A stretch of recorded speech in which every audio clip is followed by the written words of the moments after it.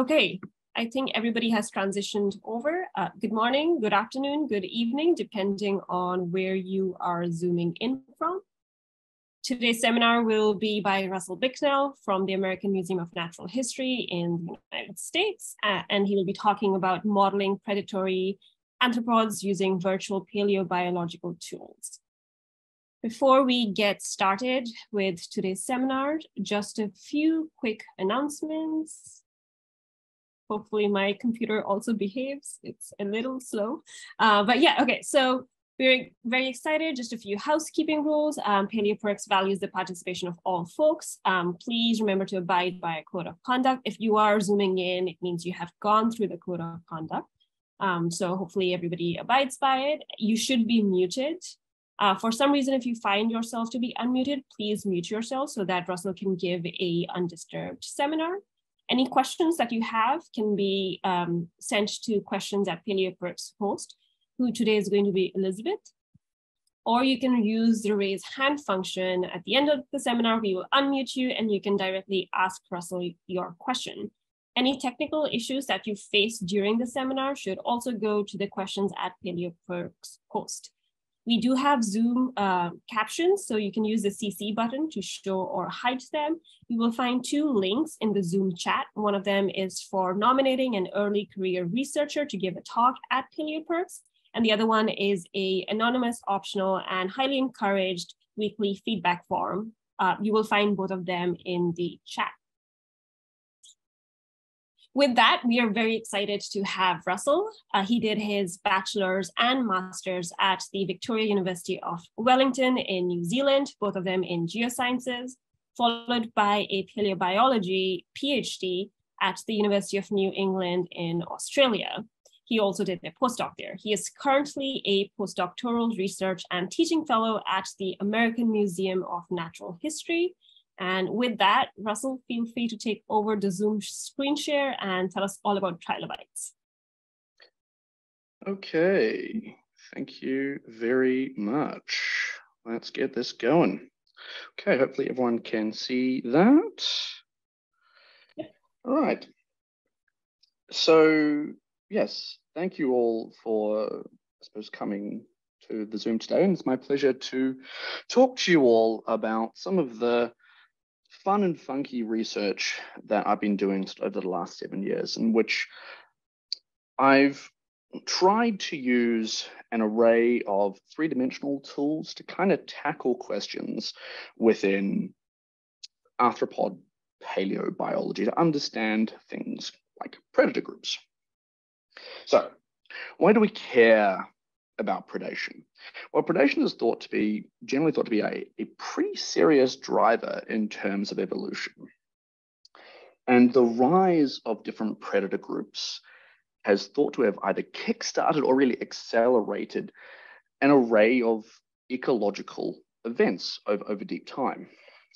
Uh, this includes things like the Cambrian explosion, uh, the Great Ordovician Biodiversification Event, the Siluro-Devonian jaw armament, as well as the rise of um, uh, planktonic animals within the Devonian, and then the armament of fish, and then of course into more recent Mesozoic dinosaurs.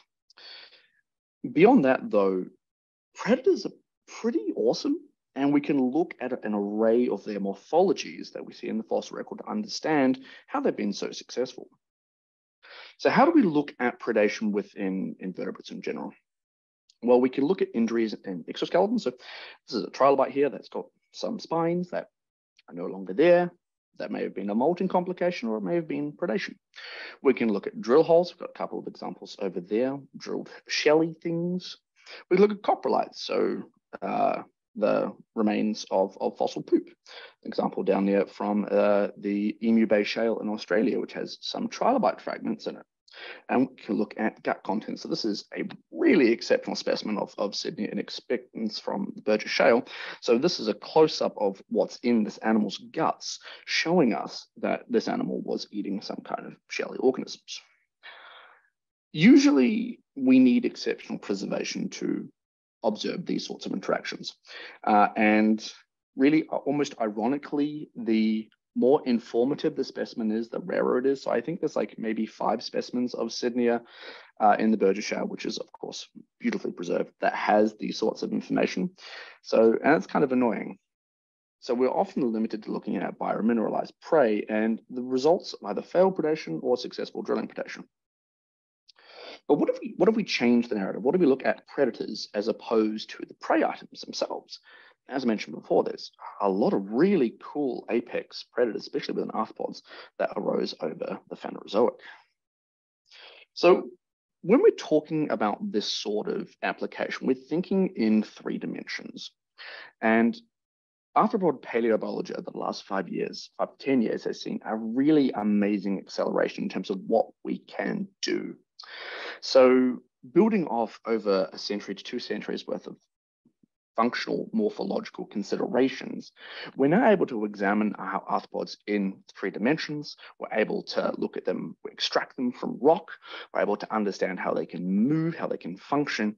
And this framework is actually really, really ideal for understanding predator groups. We've got this really nice shift in how we are looking at predators. And this aligns with what's happening within vertebrate paleontology. So how do we do these sorts of things? Well, usually there's some kind of scanning tool that's involved. So micro or CT scanning, uh, neutron scanning, so chucking the fossil in a nuclear reactor, uh, or synchrotron scanning. So this is the, the Melbourne synchrotron. That's basically uh, high-powered micro CT. Um, we can reconstruct the animal. So if we can't scan it, if it's too pancaked or just isn't going to work. Uh, we can use paleoartistry to build the animal in 3D. And usually there's some degree of high powered computing that goes on. Off the back of those methods, we have four main, I suppose, approaches that we then, I'm going to really be talking about that I've used. So segmentation reconstruction, so working with those scans to build the animal, uh, biomechanics, uh, kinematics, how things move, and computational fluid dynamics, what happens if you put something in a computational flume hood. So segmentation and reconstruction is basically, this is the, the bare bones what's required to do everything else that I'm going to be talking about today. The work that I've done, I've looked at both modern and, and fossil forms. So this is a scorpion here, and I've looked at segmented scan and segmented the muscles in that scorpion. Uh, this is part of a dinosaur, and this is a horseshoe crab when we're doing, when we're scanning and reconstructing animals, we are given some really good insight into the internal structures that we're seeing that we can't often observe on the surface of the fossil. Um, and this avoids us having to do things like histology and more destructive approaches, for lack of a better description. The majority of the approaches I've used for scanning reconstruction, uh, I've involved a program called Materialise Mimics, although there is an array of softwares out there that people have been using over the last 10 years. Thinking now about, so with that framework there, we'll think about biomechanics. So two-dimensional biomechanics uh, presented a really core insight into how animals function, um, how things move relative to other segments, um, and how different parts of an experience force the last two decades saw a transition from two-dimensional consideration, so some examples here, to the third dimension.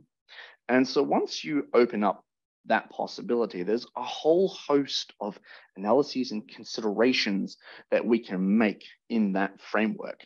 And in my view, it allows for a more complete understanding of the animal in general. The tool that's most commonly used for 3D biomechanics is called finite element analysis, FEA. FEA originally was designed as an engineering tool to understand effectively the limits on a structure. So if you build a tower, uh, where is this tower likely to uh, collapse if it experiences an earthquake? There's been a really nice synthesis between this engineering aspect and, and biology and paleontology to produce three-dimensional biomechanics. This method allows us to understand where a model, our three-dimensional construction, will experience stress and strain under specified conditions such as muscles and restraints, points of rotation. It allows us to understand how morphologies deform under these conditions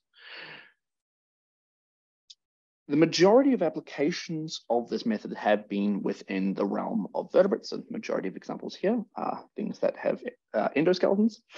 And so a lot of the work that I've been doing has been trying to pull our consideration of arthropods in line with where the vertebrate realm is currently at, which is really exciting. So I'm going to give a couple of examples of work that I've done in this context. So we're going to start with trilobites because trilobites are amazing. Trilobites and related groups, things called artiopodans. Trilobites are probably the most common arthropod in the fossil record, maybe except for insects, but they're probably the most well known. And they preserve really well because they, their dorsal exoskeleton is made effectively of rock, which means that they are, you know, like shells. They preserve really well within the fossil record. Very occasionally, though, we get the appendages preserved. So this is a couple of examples of appendages. This is um, serratus from the aforementioned uh, Burgess Shale. These are the leg sections there. And this is Redlichia rex from the Emu Bay Shale. These appendages look pretty similar to appendages of horseshoe crabs. And so it's been proposed that these animals were capable of crushing shell, at the very least, you know, eating with these sorts of structures. And so I was able to actually address this particular topic using FEA. So when we are going to step into doing some kind of finite element analysis, we need to have our null model. We need to have a thing we can say, well, this is a modern analog that we think our animal probably functions like. And so in this case, we chose horseshoe crabs. Some lovely horseshoe crabs there. Um, in this case, because we actually have horseshoe crab specimens, they're three-dimensional, we can put them in a micro CT scanner. This is what I've done there, I scanned the leg. And so from there, we can also determine where the muscles uh, that are used in mastication are. So these little aspects here, these are our drawings of the muscles that we assume are probably going to be in our fossil animals as well. So these are one of the assumptions that we need to make. Don't make these assumptions, the models don't run or they don't make sense. The flip side of things, looking at the fossils, is these animals are preserved as two-dimensional impressions. They're basically pancakes.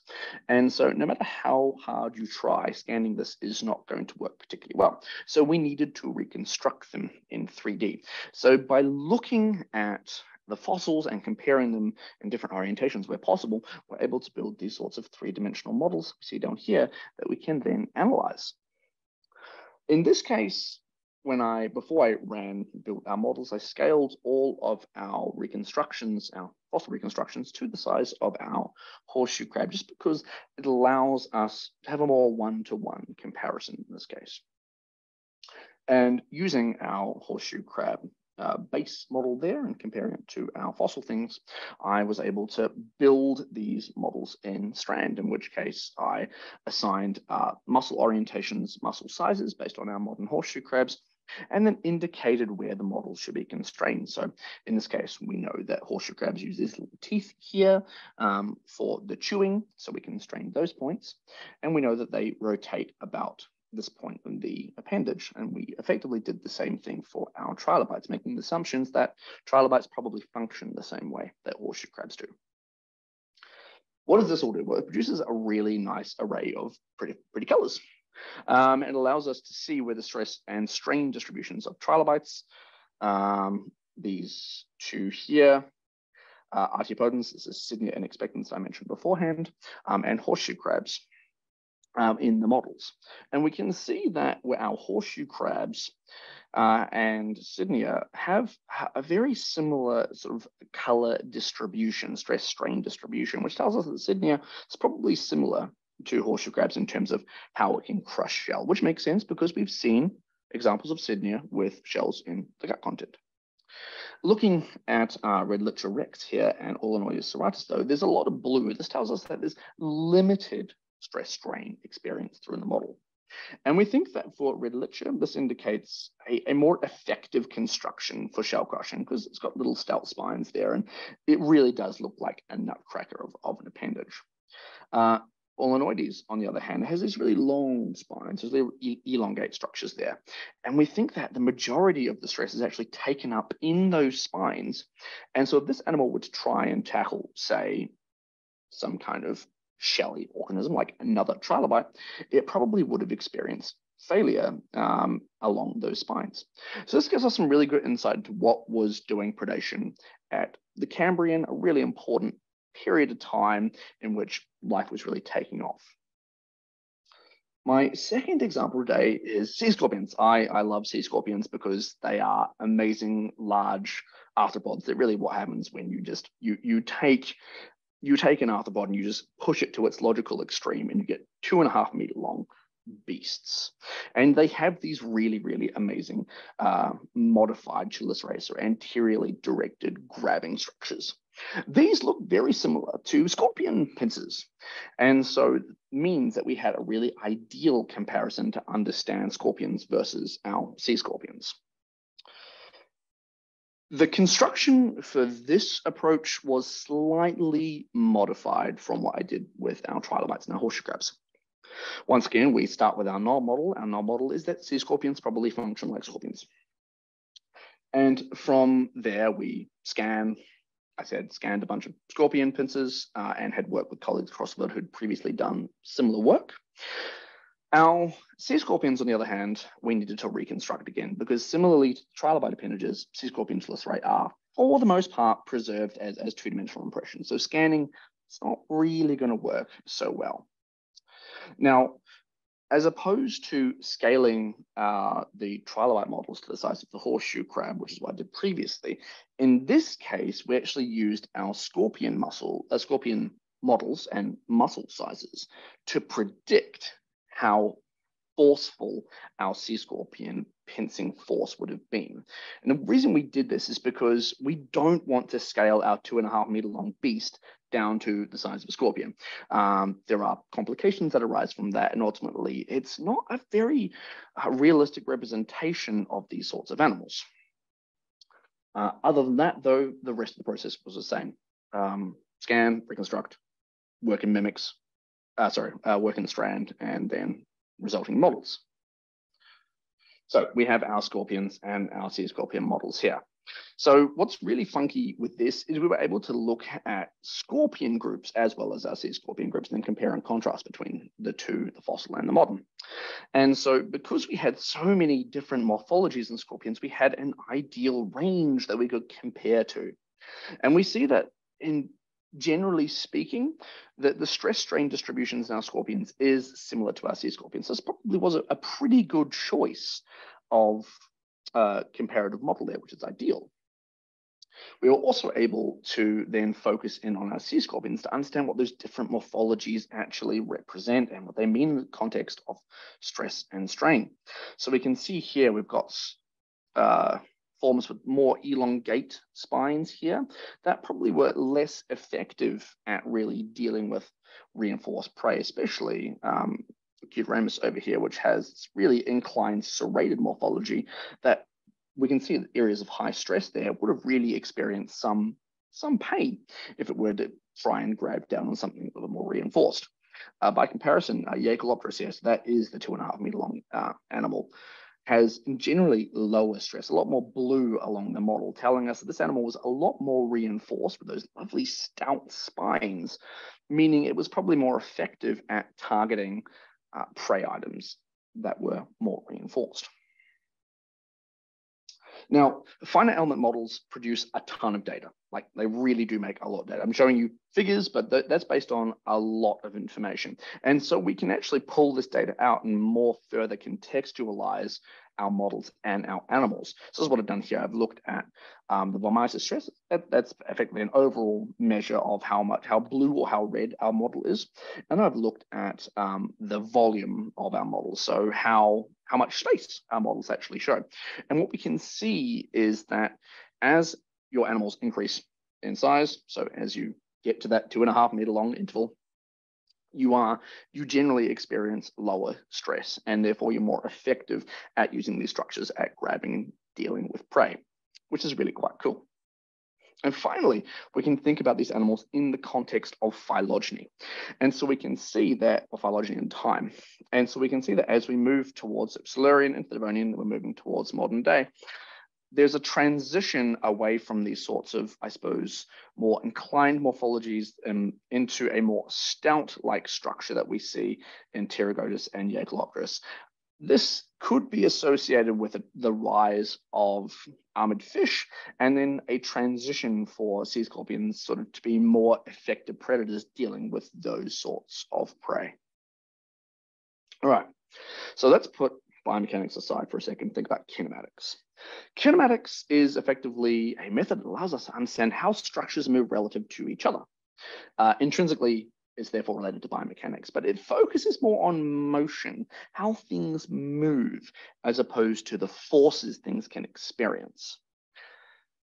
The majority of work that's been done with kinematics has once again been in the two dimensional, but a modern shift to 3D, also within the vertebrate realm, has allowed us to start thinking about these animals, animals in general, in that bigger context, which is really exciting. So work that I've been doing with colleagues across the globe has started to look at 3D kinematics of arthropods. And in particular, we're looking at things like chelicerates, things with large raptorial anteriorly directed grabbing appendages. We've got C-spot, excuse me. Uh, we've got a couple of chelicerates here with those large, large grabbing appendages. And we can also look at, so we can look at how they move, and we can also look at the walking legs of these animals. We can look at how they these animals are able to walk and compare them to both modern, other modern forms and also specimens, species in the fossil record where possible. So how do you build a kinematic model? Well, once again, you start with your null mole consideration. So if we want to look at something that has a large grabbing appendage in the fossil record, we want to look at something in the modern day that does have that. And so examples that I showed you there are of some arachnids that have those large anteriorly directed grabbing appendages. We scan usually our model um, because allowing that allows us to then segment out those main different exoskeletal segments and then to understand the possible range of motion that this structure, this animal could actually experience. Generally speaking, we'll have to reconstruct our fossil model, similar problems as before with our biomechanics. These animals are often preserved as two-dimensional impressions, which limits how much we can scan. And then we'll build our kinematic marionettes. So what that means is basically, this is what this pathway is showing you here. We'll build that step by step. This is what will move relative to the next subsequent part of the exoskeleton. And by rotating these different segments as we're doing here, we'll be able to figure out the full range of motion for the entire appendage. Uh, in this case, the software that was used was Autodesk Maya, although I think you can now do it in Blender as well, which is really cool and also open access and free. So let's think about a couple of examples here. Going to first look at walking legs, and then we're going to look at those grabbing appendages, sort of thinking about those large arthropods once again, the fossil record. So sea scorpions, eurypterids, uh, some of them have these large anteriorly directed grabbing appendages. Some of those have those large chelicerae that we saw before. And they also have walking legs. So this is a reconstruction of the walking legs of uh, Eurypterus, probably the most iconic uh, sea scorpion. And we compared this to the walking legs of horseshoe crabs. There's also pushing legs of horseshoe crabs as well, because we kind of figured that at least horseshoe crabs and sea scorpions are related to each other. And it's been proposed that these animals probably did walk functionally similar to horseshoe crabs. And what these models show you is that our horseshoe crabs have a lot more range of motion. They can do a lot more with their walking legs and their pushing legs than sea scorpions, our Eurypterus can. And so this really aligns with the more pelagic life mode that we think our Eurypterus had. So swimming around as opposed to scuttling on the sea floor. Then thinking about our these large anteriorly directed grabbing appendages, using those arachnids as the uh, modern analog once again, we can see that there's a similar range of motion from fully outstretched to effectively fully enclosed, developing what's called a capture basket. And so we've got these, these ordovician animals, really, when sea scorpions were just starting to really take off, having very effective means of capturing and then processing prey that is effectively being replicated in modern arachnids. Okay, so the last method that I'm going to talk to you about today is computational fluid dynamics. This is sort of the frontier of my work. CFD allows you to build a virtual flume tank. So effectively, you can look at how fluid will deform uh, around a structure that you plonk in this flume tank. And once again, it has been primarily used within engineering. It's been recently synthesized with, with paleobiology to more completely understand animals. So people have used it to look at arthropods. Um, and so these are some trilobites down here, but really the, the application within arthropods has been quite limited. So what am I trying to do? Well, I'm trying to look at CFD to understand how and why so many arthropods end up looking like horseshoe crabs my favorite group of animals full time. So we've got an array of examples here. So that's a horseshoe crab. Um, that's a trilobite. That's an artiopodan that was around about the same time as, uh, so during the Cambrian. And this is Triops, as our one of modern day uh, crustaceans that kind of looks like a horseshoe crab. And so some of the questions I'm looking to address with this basically understand like, why do arthropods converge that live in marine environments converge on a horseshoe crab-like shape? Is it something to do, is this an ideal orientation shape for living in the water, or is there something else? I'm also planning on using these sorts of questions to address topics around whether or not really, really baby trilobites were, were pelagic. So could they have floated around in the ocean more effectively, as has been proposed? And why do we see an array of really complex, crazy morphologies in horseshoe crabs during the Carboniferous and Triassic when horseshoe crabs weren't really living in the ocean? They were probably living in more sort of brackish estuarine conditions, which means that really this model, this modeling approach is going to allow us to tackle and more thoroughly understand arthropods in that marine context. All right.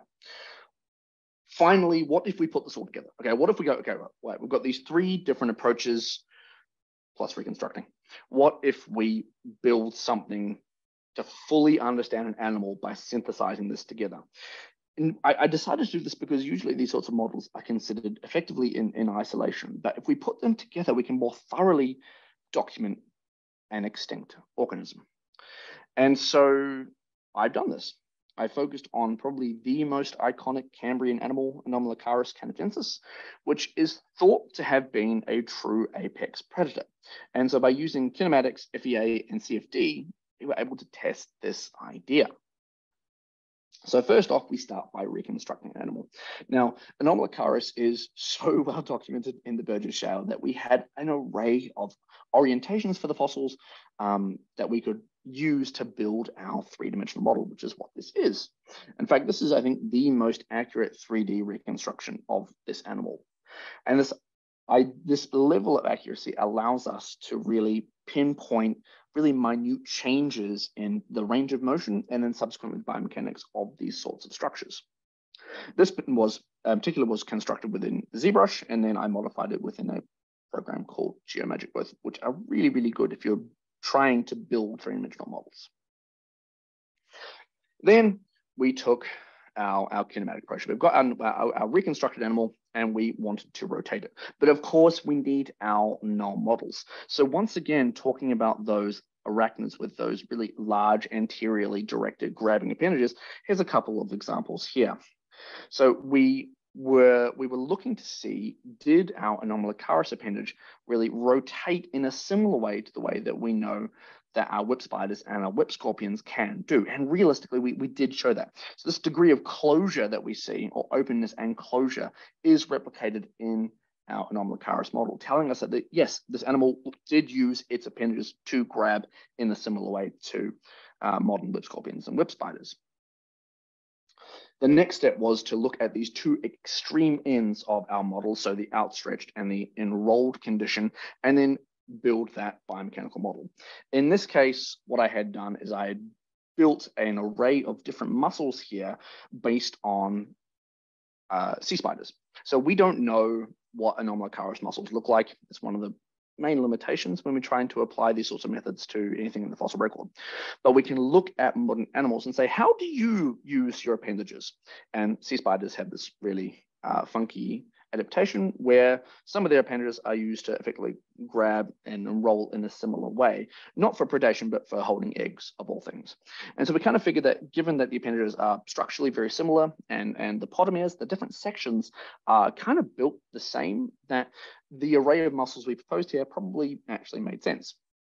And this allowed us to see that there are a lot of areas of high strain, especially at these points, at, the, the spikes. That tells us that, well, when this animal was grabbing something, it probably would have experienced some pretty high stress and strain at the tips of these spines. Then we took three different conditions, so fully outstretched, partly enrolled, and completely enrolled, and placed this animal in that virtual flume tank that I mentioned before. And this allowed us to understand that the most fluid dynamic orientation for the appendages was completely outstretched. So this animal probably would have been outstretching its appendages to attack, enrolling uh, um, the appendage around a prey, and then decelerating after that. And so with this combination of aspects, we can really fully understand how Anomalocaris was functioning as a predator.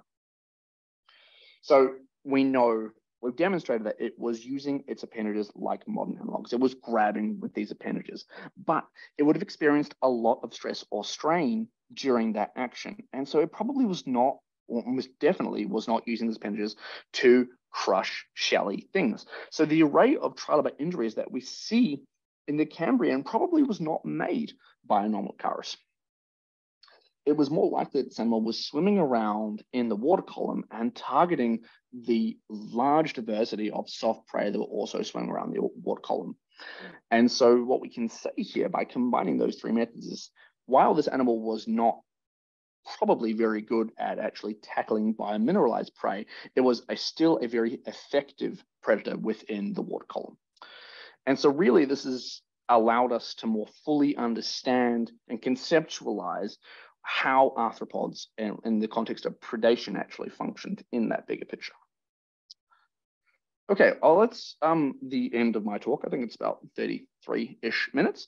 Um, before I move on, I just want to thank, there's an array of people I need to thank because this work is not done by one person. This is work that's done by an array of brilliant academics.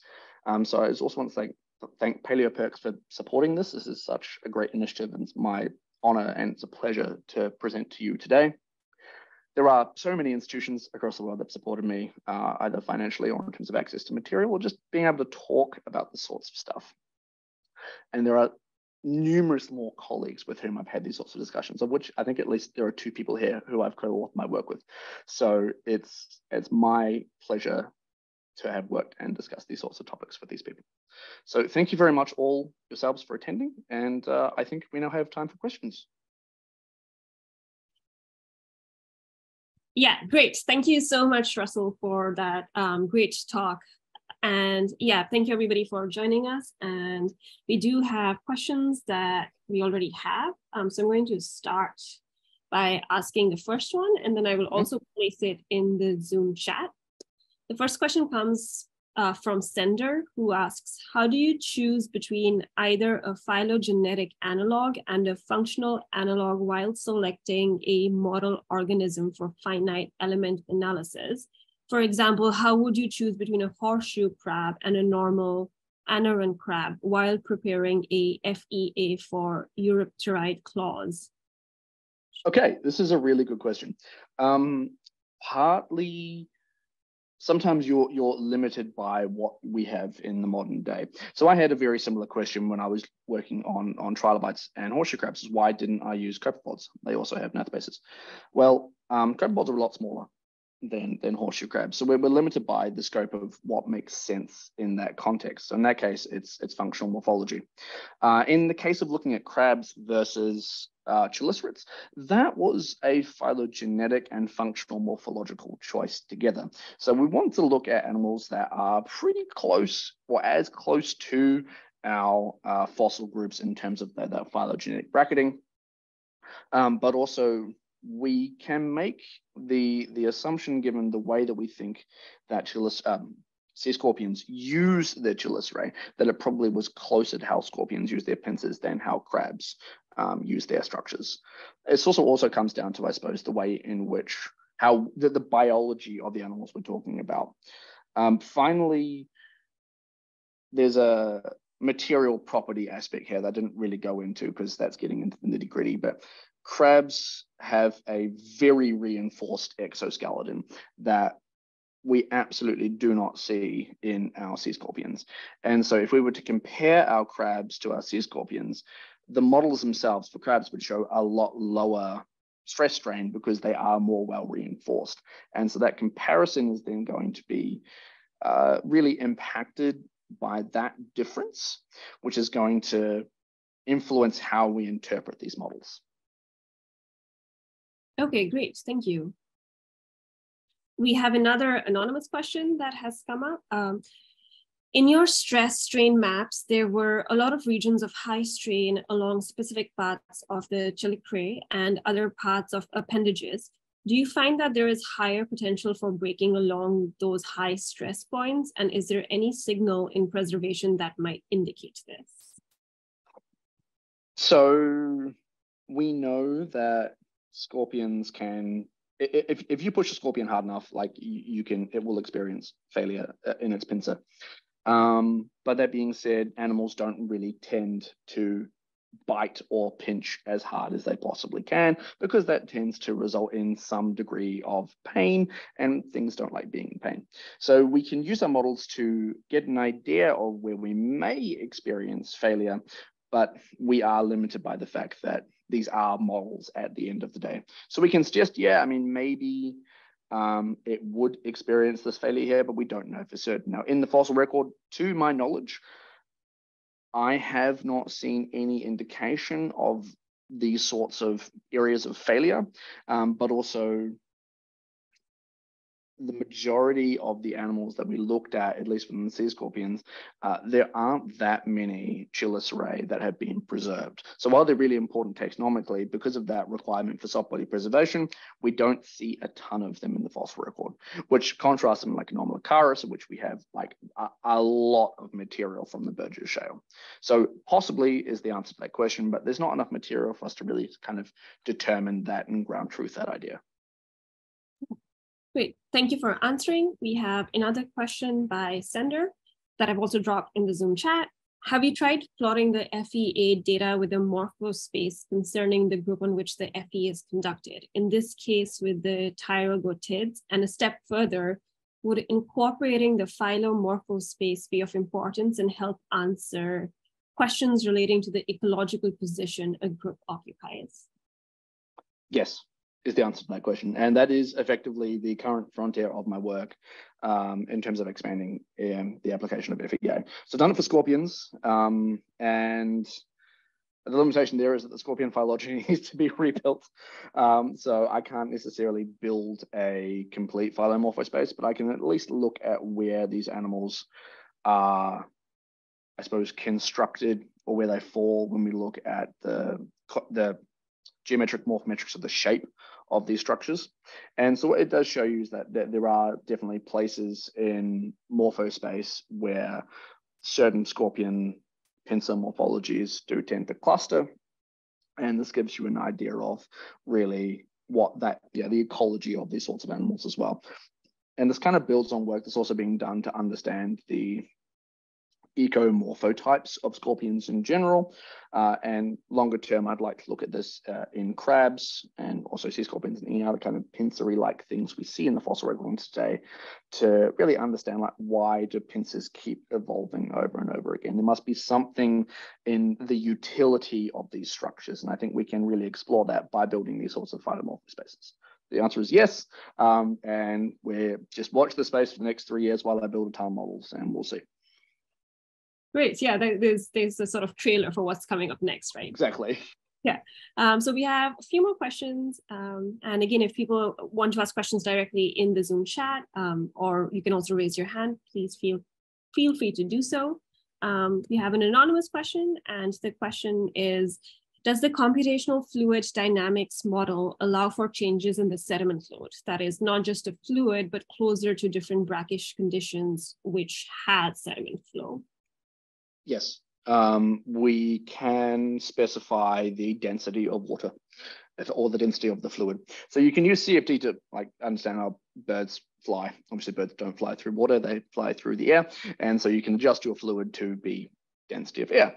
Uh, and so, yes, you can increase the density of water based on what you think a brackish environment would be. And that absolutely would be part of that consideration. Although the, the flip side of that is when you start to build in those additional aspects to your model, your model becomes harder to compare with other things. So really, whether or not you want to include that level of information is really a case by case thing. In the same way that I didn't look at crabs to understand pincers because the material properties would be markedly different, whether or not we want to start to look and include that level of density in our computational fluid dynamic models does come down to the question we're trying to address. Great. Uh, we have a question by Shannon. Um, that I'm dropping again in the mm-hmm. chat is, do you think that in addition to attacking soft-bodied prey, some of the animals in questions might still go for hard-shelled prey if the prey was already injured or if they'd scavenged um, dying ones? On a related note, can uh, models consider the effects of struggling prey versus grabbing a motionless object, which maybe can be analogous to targeting weaker individuals or scavenging? Um, so to the first part, yes, we know that when arthropods molt, they give off some kind of chemical which is thought to be able to attract predators. And so, yeah, during a post molt stage and during that sort of redevelopment of the exoskeleton, it's very possible that these sorts of animals would have been attacking uh, weakly biomineralized prey items. On the topic of modeling struggling prey, kind of.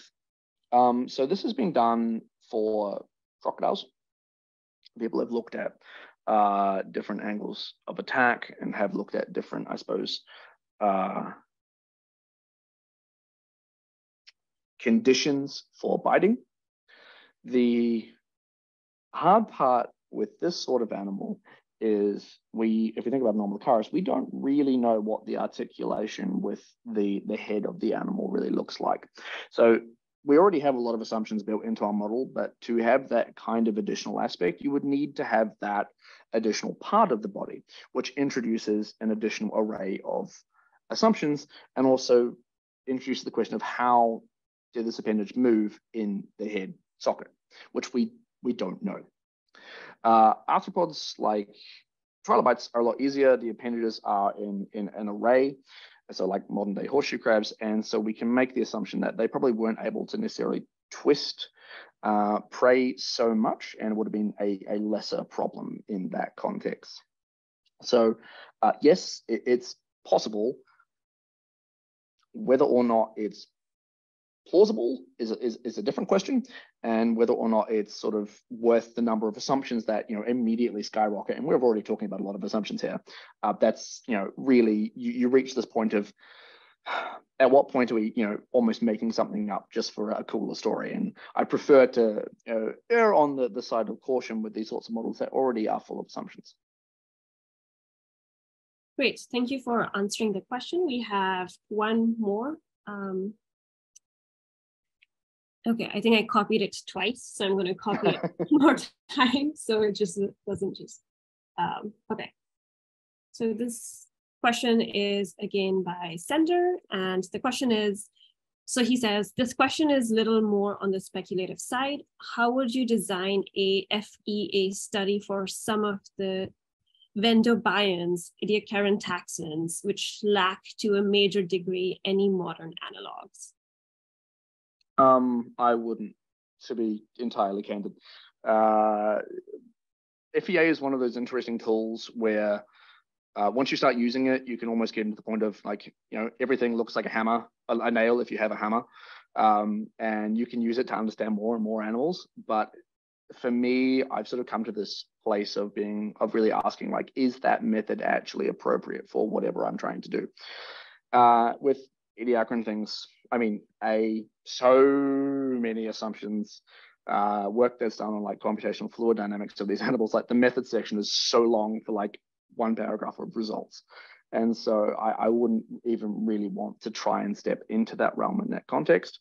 Um, but I think beyond that, the kinds of methods that are more appropriate, there are methods like computational fluid dynamics. There are methods like three-dimensional geometric morphometrics because they are more within the realm of like understanding how the environment is impacting the animal as opposed to what the animal is doing on other things. Great. Thank you for fielding all the questions. And if anybody has more questions, we, we can take those over to tea time. And once again, thank you, Russell, for giving a fabulous talk. I will take over screen share.